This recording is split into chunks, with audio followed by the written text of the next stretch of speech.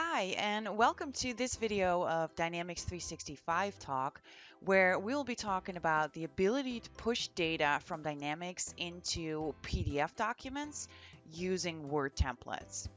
Now, we already knew that we could pre-configure these Word templates to push data from Dynamics 365, but now we have the option to use the same Word templates and then actually generate a PDF document. So I'm going to show you how to do that. I'm going to also show you how to actually set up that Word template and then how to turn on the functionality to turn that into a PDF document. But before we dive into it, I wanted to introduce myself. My name is Dian Taylor. You can take a look at my blog on d365goddess.com or follow me on Twitter at D365 Goddess. So let's get started. So the first thing I want to do is kind of show you what the end result is going to be. So I'm just going to navigate to one of my opportunities here that has some items related to it. And I believe this guy actually has some product line items related to that opportunity as well. Let me click here on product line items. So yeah, so I have, as you can see, three different products here. Go back here to the summary. I have an opportunity ID, etc. So what I'm going to do here, you can see here that it says create PDF or email as PDF, but I also still have the ability to actually create a Word document by using my Word templates. Now again, if I'm clicking on email as PDF, it will create that PDF, attach it to that email, and then open up my compose window. I'm just going to go ahead and create my PDF. Again, here are my Word templates that are available. And as you can see, it's pushing that opportunity data right now into that PDF. Let's give it a second.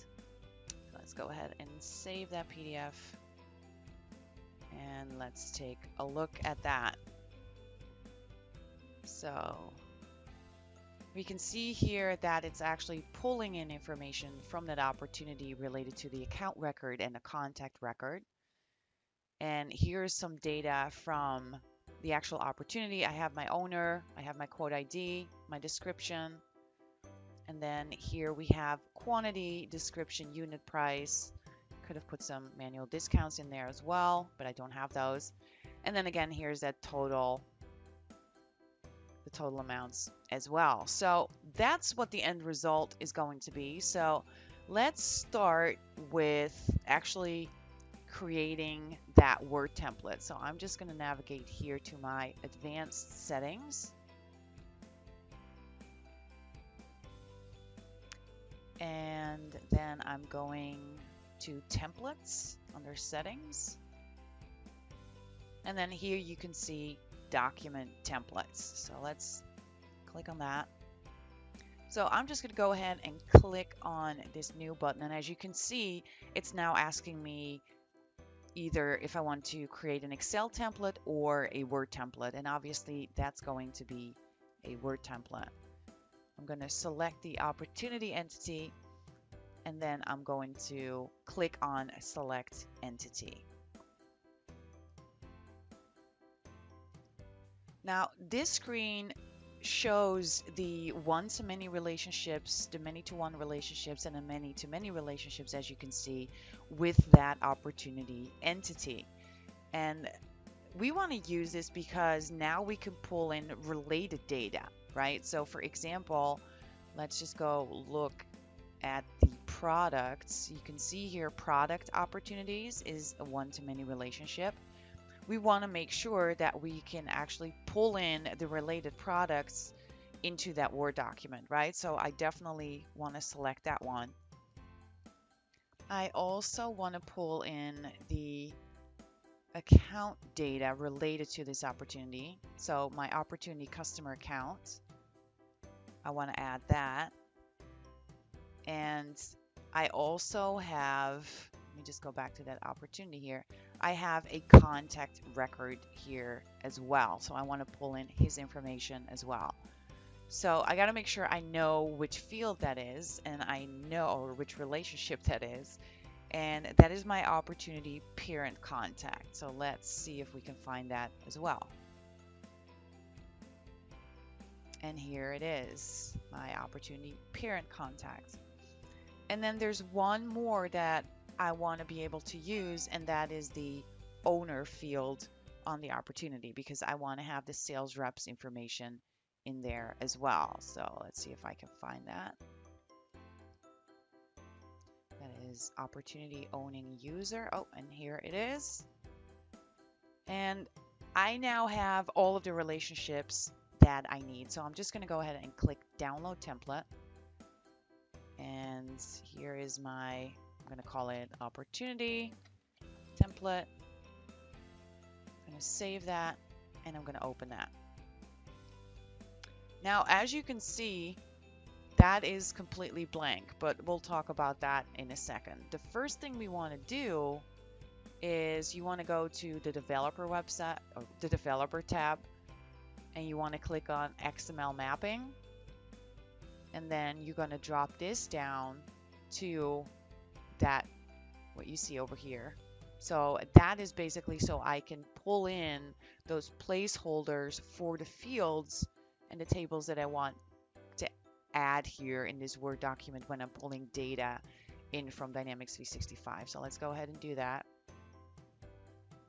And as you can see, now I see here opportunity information. And if I scroll all the way down, I also see product opportunities fields and I see my customer account fields, right? Address fields, etc. So now I can start populating my document with these fields from Dynamics 365. Now, if you have for example, another Word document that, you know, has the tables and everything configured, you can just copy and paste that over to this document. So that's what I'm going to do.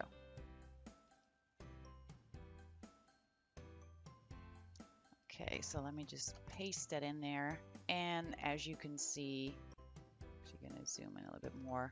Here is my empty Word document with these tables already configured. So now we can start adding data from Dynamics 365. So in the to field, for example, the first thing I want to do is add the name of the customer account. So I'm going to the opportunity underscore customer underscore accounts relationship. And this is the account record. So I'm going to look for the name field. I'm going to then right click on that click on Insert Content Control, and then I'm going to select Plain Text. Now, if I wanted to do additional information, so what I had, what I showed you guys was actually, I'm going to go back up here, was underneath the account name, I had the contact full name. So now I'm going to the other relationships, opportunity parent contact, and I'm going to look for the full Here's the full name. So now I'm pulling in information from the contact record. Right, so this is kind of how you can fill up that that area right over here. And then of course also this salesperson is from, let's just go here to the other relationship. The salesperson is from that owner, opportunity owner, owning user. So again, we're going to pull in that full name of that user as a sales rep. Again, insert contact con content control, plain text. The quote ID is actually coming from the opportunity itself. So I'm just going to go scroll up. Are we in the opportunity? Yes, we are. And we want the new opportunity ID. And here it is, plain text. So that's kind of how you can do those fields. Now I'm going to very quickly add the additional information in the to field and here in this top line as well. And now I want to show you how we can actually pull in that table of opportunity products. So I'm going to put in the information from the opportunity product. So let me just scroll down here. And we want to look at the opportunity products underscore opportunities table. And I'm going to put in the fields that I want here. So that is my quantity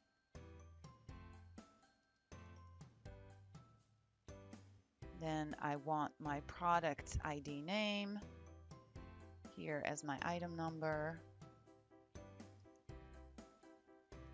Also as my description.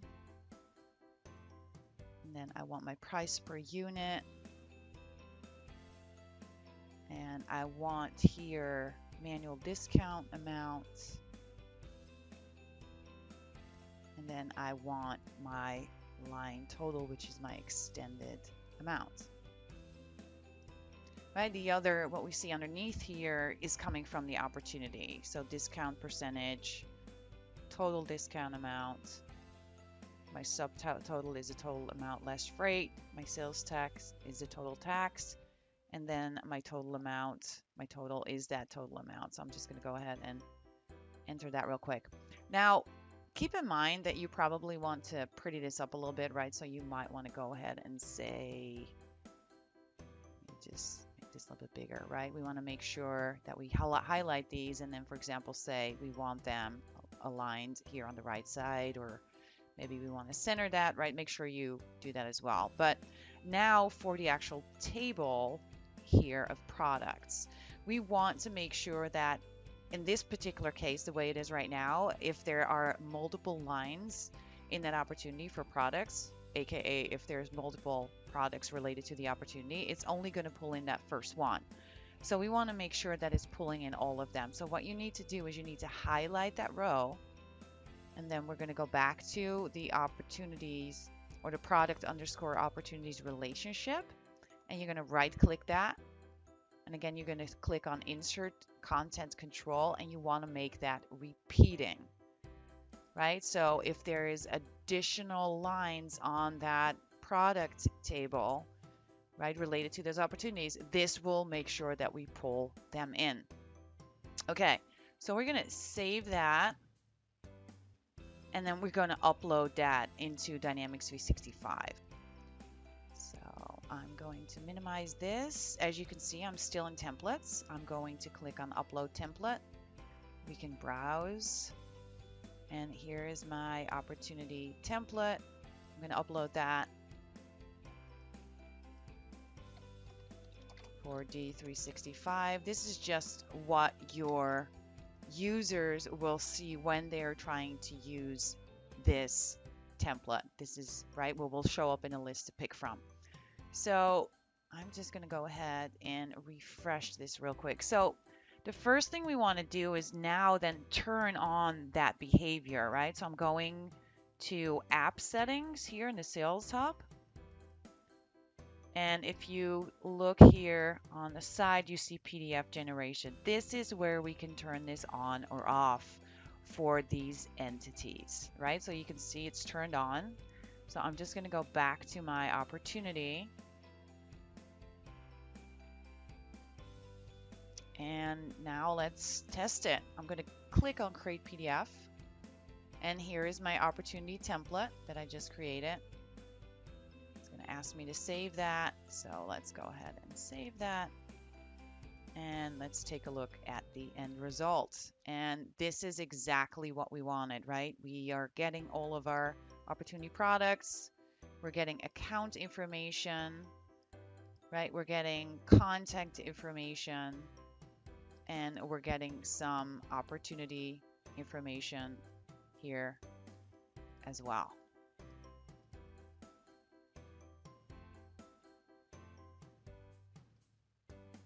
I hope you enjoyed that video. If you did, make sure you click that like button Thank you so much for watching, and we will see you next week.